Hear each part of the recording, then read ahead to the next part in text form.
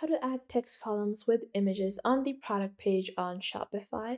Hey guys, welcome back to the YouTube channel. In this video, I'm going to be showing you how you can add text columns and images on your product page on Shopify. So if you go on to your Shopify account, so this is going to be your Shopify account, and you click on your online store and you view your store, and if I just go onto the catalog section, and go into the subcategory, you can see that uh, there is no like section where you can add like images plus text on your actual product section. So if you browse all products, if you click on shop all or browse all of your products, you can't really add text plus images at the bottom. So like at the bottom of this product, like I want to add text plus image column. So there is not a default setting for you to add that, but there is a simple and easy method that you can use to create this kind of column. Now, to get started with it, you're going to go under your Shopify account and I'm going to go through it with you guys step by step. So the first thing that you're going to do is you're going to log on to your Shopify account and then you're just going to click on online store over here. Now, once you click on online store, what you're going to do is you're going to click on actions and then you're going to click on duplicate. Now, the reason that you want to click on duplicate is to get a duplicate of your e-commerce store. So if you mess anything up then you have the duplicate code that you can just copy and paste and then your website is going to be back as it was. You don't necessarily have to do this but i would recommend it if you're already running your e-commerce store and you cannot risk messing it up. So once you do that, you're going to click on edit code and you might be wondering, hey, I don't know how to edit code and I am all confused. I can't do this.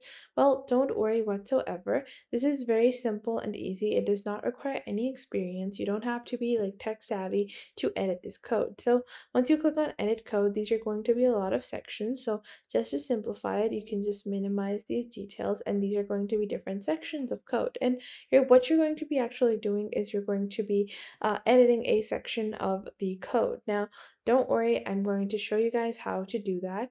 Now, what you're just going to do is you're going to click on the search bar over here and you're just going to search for product. Now, once you search for product, there are going to be quite a few different results. So what you're actually going to be looking for is your product dot liquid. So you can see over here, these are all of your product categories. So once you take a look at all of your products, so what you're going to do is you're going to go into your section section now. What you can do is click on add a new section and create a entirely new section, or you can just click on main dash product dot liquid. And what you're going to do is that you're just going to cut out this entire section over here. So you're just going to delete this entire code. And you might be wondering, hey, this is a lot of code. Well, don't you worry. You can just delete this section. And what you can do in your sections is that you're going to search for product again in your sections. And you can see all of your sections. You're going to click on add a new section. And then you can add this as text dash image. And you're going to click on create section. And once you do that, you're going to remove all of this preset code. And then what you're going to do is copy paste this code. So this is a code that you're going to be using. Now you can just copy it from here. You don't have to type this or anything. This is a very extensive code. All you have to do is copy and paste. So you're just going to click on paste over here. And once you do that, you're just going to click on save. Now, if there is an error in your code, uh, you're going to have to change up some of the errors. So there are two schemas that are incorrect. So I'm just going to fix those. And I think I might have made a mistake while I was copying. So that is why I have ran into this issue. So what I'm going to do is I'm going to keep the end schema and I'm going to remove any of the excess text that I have over here, just like that. Click on save now. Now I still have my error, so I'm going to have to take a deeper look onto the code. So I'm going to make sure that this link code is fixed when I link it down in the description box, but we're just going to see where the error came from. This might take a while.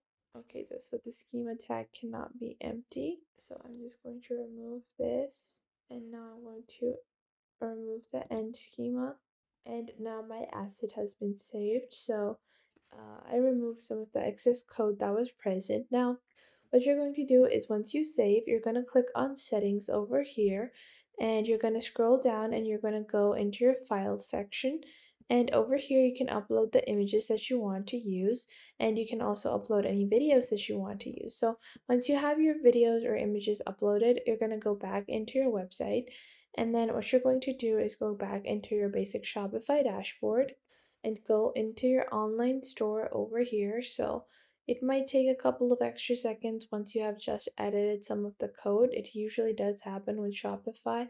I have noticed that this has happened uh, quite a few times, but it's not really that bad. It only takes like one or two minutes to load up your online store. So what you're just going to do now is you're going to click on customize over here and what you're going to do is you're going to go into your product section. So you can just go on over here, go into your products, and you can just click on default product. And what you're going to do is you're just going to click on add section, and then you can find the section that you created. So if it is a image text section, you can just add it over here. So for me, added it within the featured products lineup, so it's going to be present over there but you can just add your section from over here and you're going to be able to uh, add image and text columns or image and text sections on your product list on Shopify. So that is how simple and easy it really is. Now, uh, it does work on most Shopify themes, but some themes like Dawn, like one of their new and popular themes is Dawn, uh, it might not work on a theme like that because a theme like that has a lot of overlays and um, it, unless you're using jQuery, which is like a bypass app, you might not be able to uh, perfectly realign the new section, so you might have to keep an eye out for that. But for any previous kind of Shopify theme, this method is going to work absolutely fine, and I will leave the link to this code in the description box down below and you're now able to add your own image and text columns on your Shopify product pages.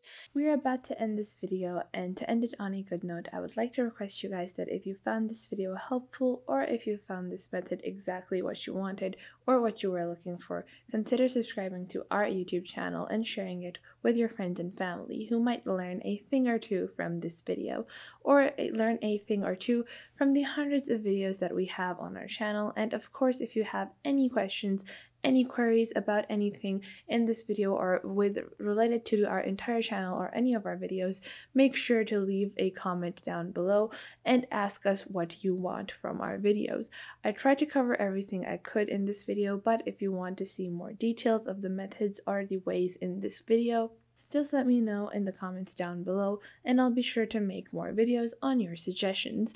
At the end of the day, it's all about providing you guys with valuable content that could help instill a positive change in your life and hopefully your friend and family's life as well. And at the end, I would like to request you to make sure to hit that like button and subscribe to our YouTube channel as it helps out our videos a lot. And again, thank you so much for watching. Till next time, goodbye.